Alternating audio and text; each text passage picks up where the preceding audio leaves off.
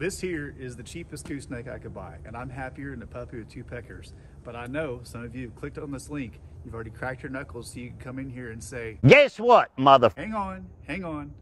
Well, let me tell you why this works for me. First, I needed something with no sides for easy access.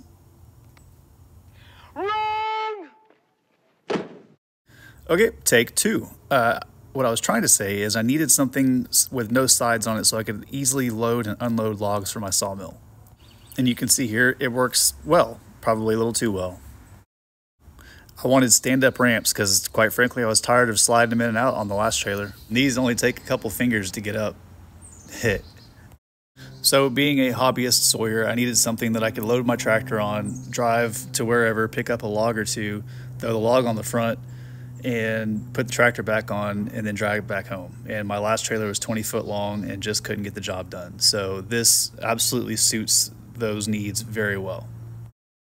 So here I got the tractor loaded up with an eight foot log on there, and I'm just kind of showing you that there's a lot of extra room to spare. It's always nice to know you can always squeeze some more wood in there if you need to. the jokes just write themselves, don't they? Hell, it's even got a couple boxes to stick your tools in. Can't beat that with a stick.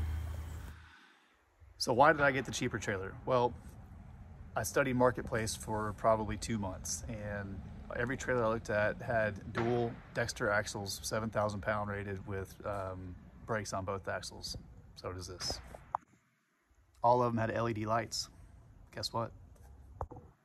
Some of them had dual 12,000 pound jacks. Some of them had one. Some of them had toolboxes. Some of them don't. I got both of them.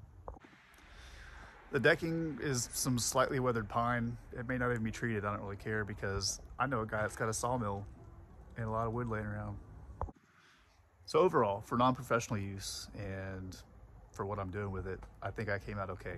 But if you think I'm overlooking something, let me know.